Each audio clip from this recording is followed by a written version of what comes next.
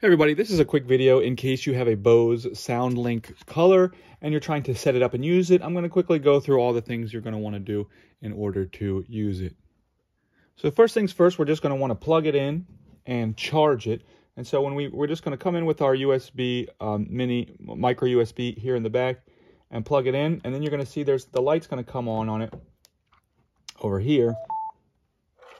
And when this is orange, this means that it's charging. And then once this once it's fully charged, this will turn green. And you can continue to use the speaker while it's charging.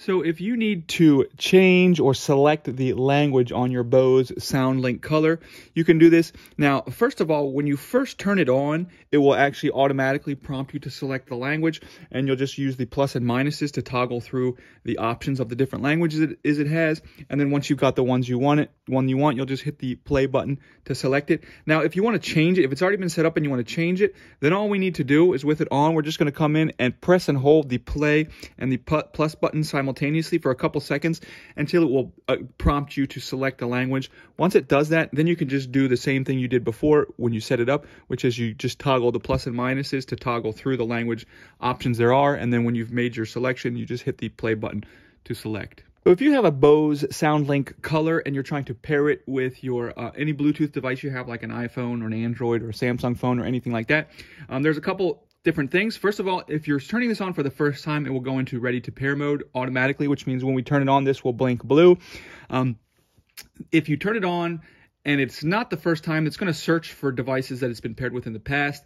And if it doesn't find anything, then it will go automatically into uh, pairing mode again, and we can set it up, or we can manually put it in pairing mode, and it, you'll hear it say ready to pair. I'm going to turn it on, and it's going to, if I just hit the power button, now it's blinking white, which means it's looking for devices that it's been paired with in the past. If I let this go, it will automatically go into pairing mode because it's not going to find anything. But another thing I can do is if I just come in and press this button, I have to press and hold it for a couple seconds, the Bluetooth button. Mobile device not found. Ready to pair. Then when it says ready to pair, this starts to blink blue. Once this is blinking blue, then I can go on my device that I want to pair it with, and then I can select this, and then it will pair with this. Um, and then the next time I turn this on, it will when it when it's blinking white, it will automatically try to find like now I turned it off, I turn it back on, it's going to automatically try to pair with the device I had it paired with in the past. So you may need to reset the your Bose SoundLink color speaker or clear the pairing history, delete all of the Bluetooth pairing history off of this.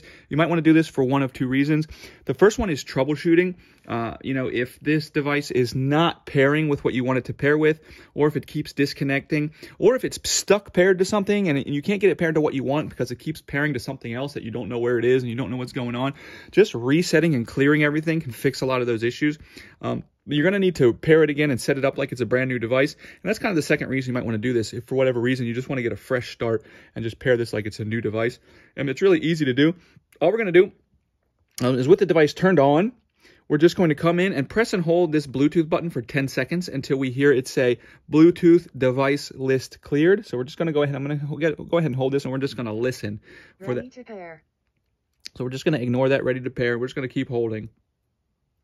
Because when you hold it for a couple seconds, it goes into ready to. Device list cleared. There you go. You hear it just Ready hit. It goes um, Bluetooth device list cleared. So now it's forgotten everything and it's gone straight back into pairing. And now you can set this up like it's a new device.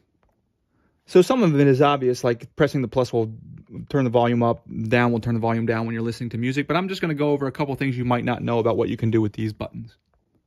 You can actually control your audio on this Bose SoundLink color.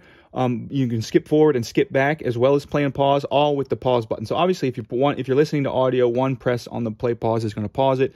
One press again is going to resume the, the, the audio. But if you double press it, it will skip forward a song, and if you triple press it, it will go back a song. And on this Bose SoundLink Color Bluetooth speaker, you can also, it has voice prompts, and you can turn those voice prompts on or off if you want them, or if they've disappeared and you're trying to get them back or something like that. All we need to do is press and hold the volume up and down button together until we hear it say to us, voice prompts off or voice prompts on. So I'll, I'll just go ahead and you'll listen. They're on right now, and so it's gonna, I'm gonna press it, it's gonna say voice prompts off. Voice prompts off.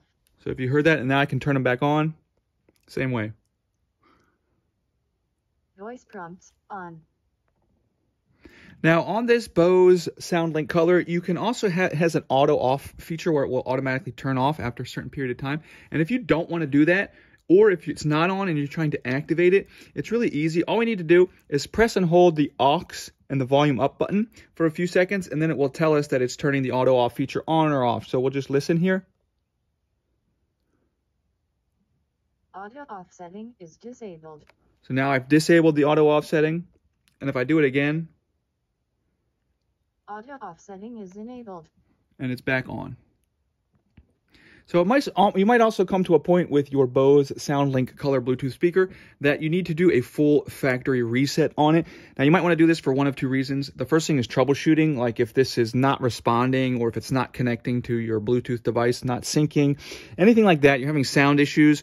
Um, a factory reset can uh, you know fix a lot of those issues you're going to need to set everything up again because everything will be wiped and that's kind of the second reason you might want to do this is um, you know just like it's going to clear the language selections any kind of pairing memory anything like that will all be cleared off so we can go ahead and set it up like new so all we need to do if we want to do that we're just going to come and find the volume down in the aux button we're just going to press and hold both of them for 10 seconds just keep holding, keep holding, keep holding. Make sure, that, and oh, by the way, make sure that it's hooked up to power when you do this. So you see it was on, it's just been turned off. It made that little beep. So now it's been fully factory reset. So now when I turn it on, you'll see it'll go, it won't look for, it won't look to pair with something. It won't blink white. It'll just go straight into pairing mode. To select English, press and hold the play pause button. And see now it's it's prompting me to select the language and everything like that because select it's English, press and hold the play pause button. So everything's being set up from brand new.